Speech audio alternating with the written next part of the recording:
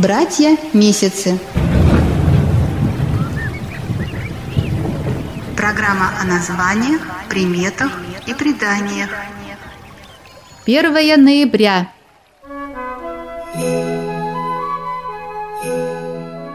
По одному из календарей славяне отмечают Сварогов день. По народному месяцу слову Иоанн, грязнихи – конюхов день. В этот день христианами отмечается перенесение мощей преподобного Иоанна Рыльского, святого, почитаемого в качестве покровителя болгарского народа. Иоанн родился в конце IX века в селе Скрина. На Руси в Иванов день провожали осень и встречали зиму. С этого времени начинались настоящие морозы.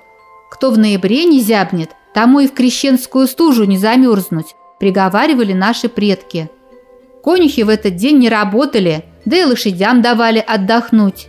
Путь груден, коню запряженному, труден, говорили люди. С самого раннего утра собирались вместе, угощались и рассказывали друг другу удивительные истории. А на лошадях, оставшихся без присмотра, говорят, 1 ноября катается дух-покровитель двора – дворовой. Считалось, что дух этот есть в каждом дворе – у него змеиное тело, а голова петушиная с большим гребнем. Ночью же дворовой приобретал облик хозяев дома, но людям он на глаза старался не показываться. А если и являлся человеку, то в образе крысы, лягушки или змеи. Этого духа почитали как защитника от нечистой силы, поэтому 1 ноября его старались задобрить. К конюшне несли горшок каши с медом – Рядом с горшком оставляли кусок ржаного хлеба на соломе. А еще в Иванов день ходят в гости к сватам и несут им угощение, а также сыплют зерна сорокам, которые к этому сроку обычно к домам прилетали, чтобы остаться рядом с человеком на всю зиму. Подкармливая сорок, народ этим поминал умерших предков. Но на перекрестках дорог этого делать нельзя – так как считается, что так можно подкормить и нечисть. В этот день примечали. Если шел снег и было холодно, то и весну следовало ждать позднюю и холодную. Случалась оттепель, следующая весна обещала быть теплой. В темную роздым, по тонким снегам, яркие звезды, к большим холодам. А по одному из календарей славяне отмечают Сварогов день.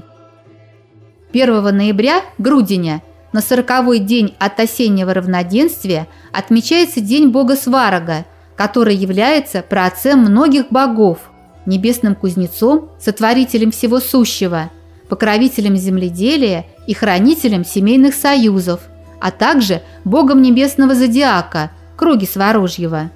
По легенде, сковал Сварог первый плуг на 40 пудов – победил страшного черноморского змея, запряг его в тот плуг и пропахал на нем целую оборонительную линию змеевых валов, защищавшую затем долгое время землю славянскую.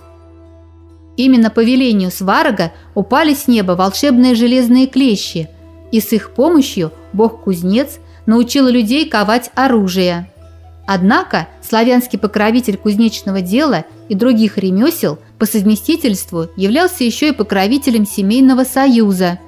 Кроме плуга и оружия, сварок сковал для людей золотое кольцо – символ крепкой семьи. С древних времен человек учится быть творцом своей доли, посему и почитается великий этот творец всемирья. В честь сварога повсюду зажигали огни – знак того, что зима не вечна, а вечен только огонь, подтверждая свет в душах наших. Слава Богу Сварогу!